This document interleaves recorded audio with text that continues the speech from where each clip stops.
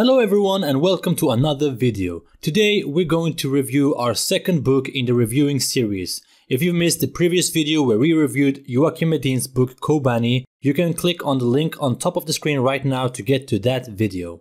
Before we start, don't forget to leave a like, comment your opinion down below and subscribe to the channel. Also make sure that you follow us on Instagram and help us reach our goal on 10,000 followers as soon as possible.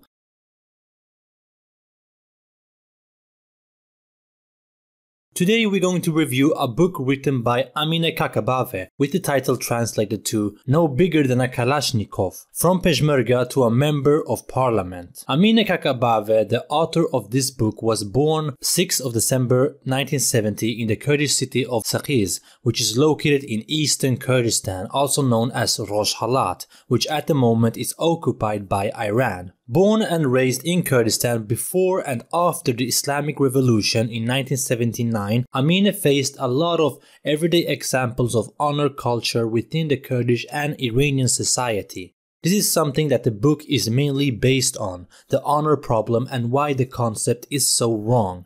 Amina has, throughout her career, mainly been highlighted for her struggle against honor problems in Sweden, and for that she even got some internal problems with her own left-wing party in Sweden, which saw the struggle of Amina as problematic. The book, with the title No Bigger Than a Kalashnikov, is basically the biography of Amina Kakabave, where you follow her life from the Kurdish societies through the Islamic Revolution into the Kurdish Peshmerga forces and eventually the years where Amina had to flee her homeland to find Sweden.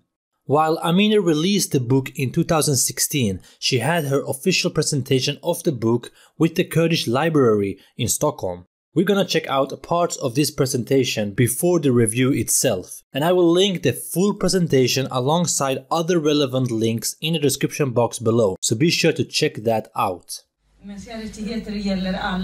Och det var faktiskt män som ställde upp för kvinnor. Mina feministiska förebilder var kurdiska män som ställde upp för kvinnors rättigheter. Och det var morbror som jag precis talade med innan jag kom in. Eh, han är 65, heter Rahman och eh, eh han har definitivt givit sin stöd till alla oss i kvinnliga och barn i familjen. Och det var också han som när Kurdistan blev militariserat och vi var på flykt i en annan by eh, då grät jag jättemycket och jag sa jag vill bli peshmerga nu, jag flyr med er. Morbror sa du ska sitta, vad är det? Du är inte större än en kalasjnikov. Vad ska vi göra med det Amina? Ska vi bära? Vi kan inte ens bära våra egna. Det räcker, nu måste du bli stor. Så varje dag jag bara visste hur lång är en kalasjnikov. Och jag bara sa till min mamma när jag blir stor och hon sa titta alla kvinnor, alla flickor vill ha eh, eh bröllopsklänningar och det är min dotter, hon vill ha en kalasjnikov. men, men på allvar eh, 2000, 2015 jag skrev en debattartikel, jag vet att för många kanske var provocerande, rubriken kanske, för att kurder vet också, man sätter inte alltid en egen rubrik på en artikel. Och det var mäns fundamentalism växer i förorten. Eh, om, om jag var ärlig och säga eh, att idag, ja, sedan den rubriken jag skrev och sedan många år före det också, många har sagt att ja visst det finns många killar och män som faktiskt är eh, på, ja, vi är ju flera hundra ISIS-krigare, de är ju från många förorter och då blev det kalabalik Vänsterpartiets ledning kritiserade mig och debatten rasade helt. Eh, och jag blev kallad för rasist, för islamofob, för en hel del sådana saker. Och då bestämde jag att det är i min egen korridor, ingen vet vad jag har gått igenom. I min, ja, mina egna kamrater vet inte ens vem jag är. Och helt plötsligt, den rasism som vi kurder har anammat, ingen vågar ens komma i närheten. Jag kan fortfarande inte läsa mitt språk på riktigt. I Sverige har jag lärt mig, vad är det om det inte är rasism? Det är könsförtryck som iranska regimen har utsatt. oss. vad, vad är det för det här för snack? Och därför bestämde jag mig att ja, jag ska faktiskt skriva en bok. Då behöver jag inte bli pensionär. Jag skriver nu. För att kurderna kampen, kvinnor i Kobani, kvinnorna i Kurdistan, eh, i Turkurdistan, Turkiet. Allt det här var där och vi för 30, 30 år sedan, 35 år sedan var de kvinnor som ingen visste vilka vi var och vad, vad kurdiska kvinnor, vad de gjorde.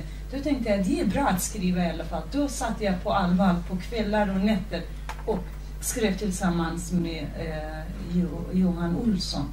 Och det var det var grunden till varför jag skrev den här boken. This book was for me very enjoyable.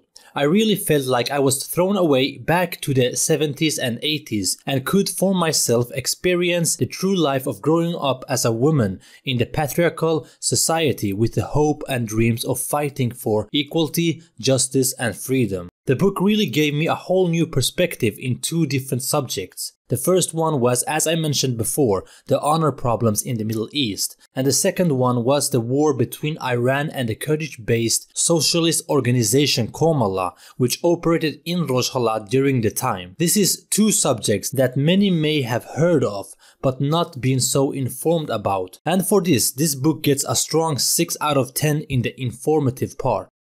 Now, what's really good about this book is that it basically is for everyone. You don't need to be interested or well informed about the situation to enjoy or understand the book. You simply will learn and enjoy from the first page to the last, and for this, the book gets 9 out of 10 in impression. Overall, I would give the book 9 out of 10, mainly because of the fact that it is written for everyone to enjoy despite the reader's own knowledge in the subject. Let's look at a smaller part of the book just to get a grip of what kind of book it is. Be sure to check out the links in the description box below if you want to buy the book and get the full reading experience. Amine Kakabave about the resistance from Botkyrka County towards Amine's struggle against honor culture, page 225. Den iranska regimen, mullorna, moskéerna, min egen familj. Ingen har lyckats tysta mig. Tror du att jag efter fem år med peshmerga ska låta mig tystas av Botkyrka kommun? Amine Kakabave gives sharp criticism towards the deniers of honor culture, page 235. Birgitta Olsson, Liberalerna, är en av dem som öppet gett mig stöd efter att undersökningen 1100 presenterats. Också journalisten och riksdagsledamoten Maria Abrahamsson Moderaterna har i flera artiklar i Aftonbladet och Svenska Dagbladet och i olika sammanhang gett mig erkännande. Och det är jag väldigt glad för, därför att alla demokratiska krafter behövs för kvinnors rättigheter. Men många vänsterpolitiker förnekar fortfarande att hederskulturen finns och man jämför hela tiden hedersvåldet med mäns generella våld mot kvinnor. En krönika med rubriken “Så hedrar vi Pela Atrushi” av Rosanna Dinamarca, Vänsterpartiet, Pela Atrushi och Fadime Sahindal har blivit symboler för den här formen av kvinnoförtryck. På senare år har deras död dock utnyttjats av krafter som extrema ateister, högerdebattörer, islamofober och rasister som använder hedersdebatten för att i svepande ordalag angripa muslimer, invandrare och vissa förorter. Morden på Pela och Fadime motiverades med deras kärleksliv och val av partner. Inte i något fall hade morden byggts upp av religiöst tvång som att bära slöja eller liknande. Så länge de viktigaste feministiska, antirasistiska och vänsterpolitiska krafterna förnekar hedersförtrycket och tiger i rädsla för att inte blandas ihop med Sverigedemokraterna och islamofoberna så överger man de utsatta kvinnorna och utlämnar dem åt sitt öde. Alright, so that's it for this review. We get a lot of suggestions from you guys about what we should review next. And don't worry, we will take our time to read, watch, or listen to your suggestion and review it, and it will show up on the channel. Just keep up sending us more stuff so that we can put it in our list and review it for the future. And don't forget to like, comment, subscribe to the channel down below so that you don't miss any further videos on this channel and so that this channel can grow and grow and reach out to more and more people.